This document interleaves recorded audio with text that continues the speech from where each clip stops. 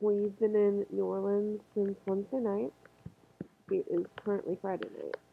We walked up and down Bourbon Street a lot of times, and we've explored the French Quarter, and we went to visit Tulane, and we've shopped a lot, and we went to a bar.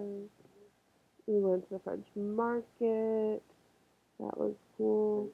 We had a delicious, delicious fried gumbo and jambalaya and oysters, beans and rice, alligator, po' boy. We're just chilling in the hotel right now.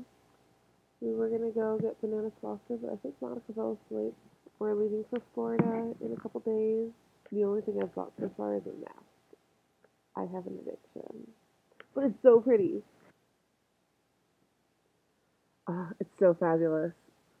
I just don't have a event to wear a mask to, like ever, because we're not doing a Gras party this year.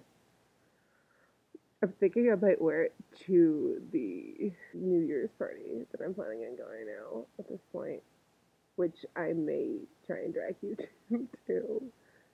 I'm trying to get Doodles to go. That is my goal. I gotta get Doodles to come because, as you know, Doodles' his ideal guy is totally Zach, and so they need to meet. And he's gonna be at this party. I think he's also going to the one the day after Christmas.